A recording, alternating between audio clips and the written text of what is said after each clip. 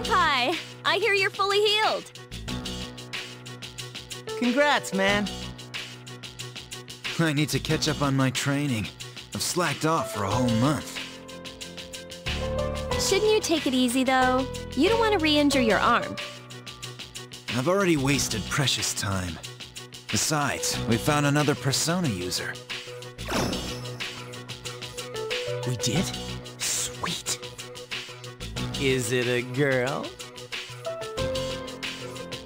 Actually, it is. She's a junior who goes to our school. Fuuka Yamagishi. Do you guys know her? Yamagishi? Oh, that girl in 2E. She gets sick a lot from what I heard. I don't see her at school very often. She was at the same hospital as me. That's how we found out about her.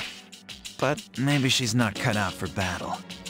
I had an evoker made for her, too. What? We're giving up on her already?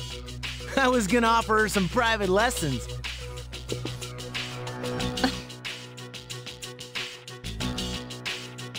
Why are you looking at me like that? Come on. I'm a guy.